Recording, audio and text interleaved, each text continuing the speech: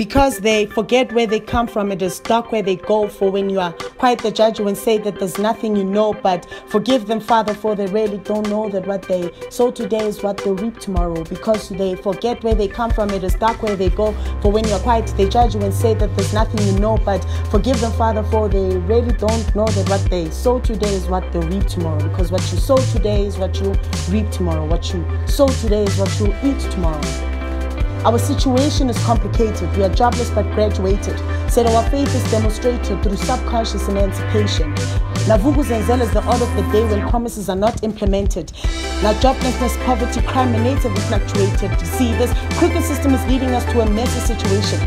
When you're black and unqualified, you're supported by affirmative action. As long as you brand your investments by the triple six and cash in, and when you relate to the system barriers, only then are you a child of this nation. Now, truth be told, the whole truth is not told. Unfold my eyes so that I can also see revelations unfold. Where the bad news are good news, tabloids are social political Bibles. Our nation makers are lawbreakers, and now they're acting like disciples. Give us today our daily bread as a daily request of forgotten. Don't remember that knowledge when times close to election. Now they give the free visits, the free food, the water, the sanitation. For the youth, these free bashes and the free sex education. Where sex before marriage is on as long as you condomize, don't compromise, scrutinize when you romanticize. Today's Girls Talk is not about marriage or AIDS, but rather about the pocket size. Media gives us our daily bread with more blatant lies. Reality strikes in between the eyes and it occupies between the thighs, and all this is the entertainment while the evil is being publicized. While one's life is a capitalist advantage to the doctors and masters causing us spiritual destructions, warfare, and political disasters,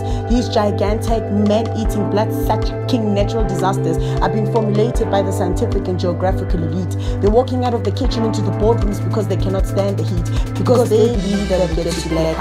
I mean, check our brothers and sisters who are living closer to the equator. They come and call this the dark continent. To me, remains as Africa where each man is for himself and really God is for all of us. But crimes are committed and the system is the one that makes the fuss, but they are the most corrupt, lying that in God they trust.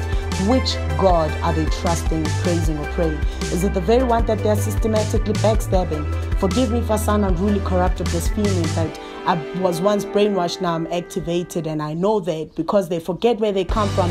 It is dark where they go, for when you're quiet, they judge you and say that there's nothing you know. But forgive them, Father, for they really don't know that what they sow today is what they reap tomorrow. Because they forget where they come from, it is dark where they go, for when you're quiet, they judge you and say that there's nothing you know. But forgive them, Father, for they really don't know that what they sow today is what they reap tomorrow. Is what you sow today is what you eat tomorrow.